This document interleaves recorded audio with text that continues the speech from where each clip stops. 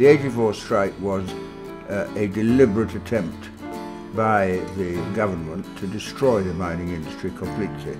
It was, was very specifically triggered by the Thatcher government.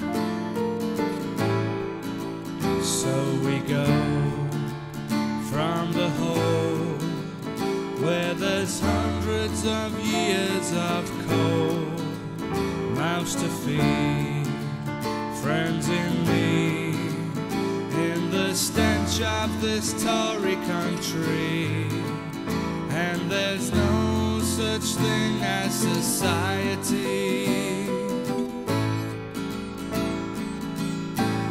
Well, you could have fooled me.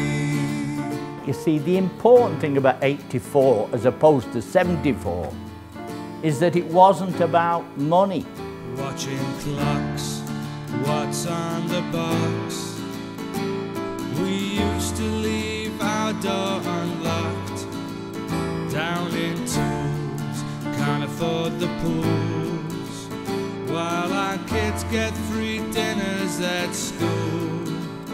But there's no such thing as society. They've cut the umbilical cord between the father and the son. Well, you could have fooled We were a mighty threat. That's why they needed to carve us up. That's why they took part in ethnic cleansing. But the miners united would never be divided with the spirit of community. You can break our traditions on a privatized mission, and there's no society.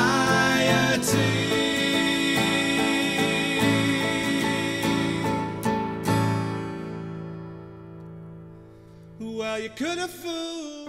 Why did the government have so much hatred for people like myself and, and, and people in this room? Ordinary people. back to back with good old Jack. Red blood in his veins mixed with slack, but he's growing thin with an empty snap tin.